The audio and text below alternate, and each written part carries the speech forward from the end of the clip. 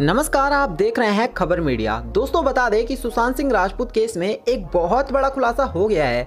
जी हाँ, इससे साफ़ हो जाता है कि सुशांत सिंह राजपूत के साथ 13 जून को क्या हुआ था, क्योंकि सीबीआई के हाथ ना सिर्फ़ कुछ अहम सबूत लगे हैं, बल्कि बता दें कि सीबीआई के हाथ सुशांत सिंह राजपूत की कुछ ऐसी फ़ोटोज़ भी मिली है, जो की कि किसी ऐसे व्यक्ति द्वारा लीक की गई थी, जो की सुशांत सिंह राजपूत के बारे में बहुत कुछ जानता था। और दोस्तों, सीबीआई के हाथ जैसे ये फ़ोटोज़ लगी तो हम आपको बताएँगे की इन फ़ोटो में वो कौन सी सच्चाई छुपी हुई है, जिससे कि सीबीआई को सब पता चल चुका है और साथ ही हम आपको बताएँगे कि कैसे सीबीआई के हाथ ये फ़ोटो लगी। तो चलिए वीडियो को शुरू करते हैं। दोस्तों, बता दें कि सुशांत सिंह राजपूत केस में सीबीआई काफ़ी दिनों से काफ़ी ज़्यादा जानकारी छानबीन कर रही है, लेकिन सीबीआई के हाथ कोई सबूत नहीं मिल पा रहा था, जिसकी वजह से ये केस लगभग बंद होने की कगार पर आ गया था और सीबीआई भी इस केस को इस तरह का घोषित कर चुकी थी कि सुशांत सिंह राजपूत ने जो कुछ भी किया वो खुद किया।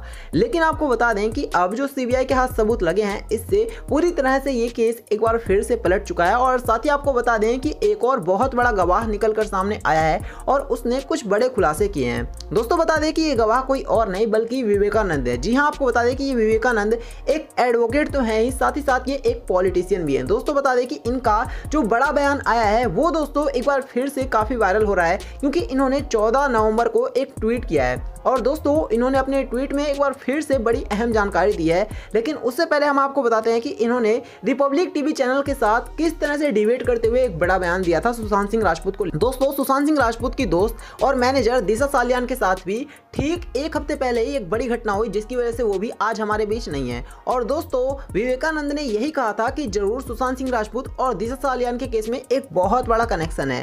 और साथ ही साथ उनका ये कहना था कि दिशा सालियान को जिस भी व्यक्ति ने इस तरह की घटना को अंजाम दिया। ठीक सुशांत सिंह राजपूत के साथ भी उसी व्यक्ति ने इस घटना को अंजाम दिया होगा। और आपको बता दें कि दिशा सालियान के साथ जब ये बड़ी घटना हुई, उसके बाद से ही रिया चक्रवर्ती ने सुशांत का साथ छोड़ दिया था। ऐसे में बड़ा सवाल यह है कि जब उनकी मैनेजर के साथ इतनी बड़ी घटना हो गई थी तो रिया चक्रवर्ती ने सुशांत का साथ उस टाइम पर क्यों छोड़ा?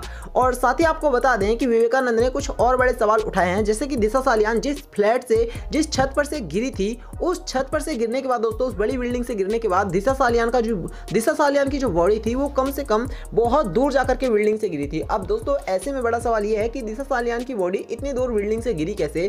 क्योंकि अगर कोई खुद गिरता है तो वो इतने दूर तक नहीं जा ऐसे में लगता है कि दिशा सालियान को ज़रूर किसी ने उठाकर दूर फेंका है और ज़रूर ये एक या दो आदमी का काम है।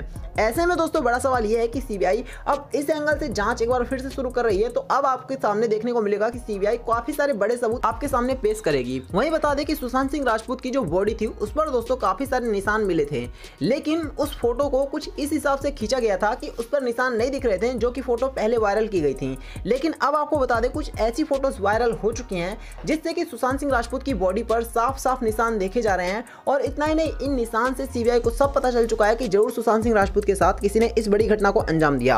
हालाँकि ये फ़ोटोज़ अब किसने वायरल की, ये समझ में नहीं आ रहा है। हो सकता है कि ये सुशांत सिंह राजपूत के किसी बहुत करीबी ने लीक किया है, ताकि सुशांत सिंह राजपूत का केस एक बार फिर से ऊपर आए और सच्चाई सामने आ जाए। या फिर हो सकता है कि ये पुलिस वालों की कोई चाल भी हो सकती है। लेकिन सीबीआई को अब हर एंगल से जाँच करना होगा और पता करना होगा कि आखिर सुशांत सिंह राजपूत की बॉडी पर ये निशान आए कहाँ से थे। और ज़रूर दोस्तों, इसे साफ़ होता है कि सुशांत सिंह राजपूत के साथ किसी और ने इस घटना को अंजाम दिया है। इतना ही नहीं, आपको बता दें कि जिस रात सुशांत सिंह राजपूत के साथ ये घटना हुई, यानी कि तेरह जून को, ये कहा जा रहा था कि तेरह जून की रात को सुशांत सिंह राजपूत के घर में पार्टी भी हो रही थी और उसके ठीक बाद ही इस घटना को अंजाम दिया। लेकिन सुशांत के करीबियों से जब पूछा गया तो उनका तो साफ़ कहना था कि उनके घर में उस रात कोई पार्टी नहीं हुई। अब सीबीआई को इसके बारे में भी जाँच करनी होगी कि वहाँ पर पार्टी हुई भी थी या फिर नहीं। अब देखना है कि सीबीआई किस तरह से इस केस में दूध का दूध और पानी का पानी करती है। तो यही था इस वीडियो में। वीडियो को लाइक करना, इसे और लोगों के साथ शेयर करना और हमारे चैनल को सब्सक्राइब करना। धन्यवाद।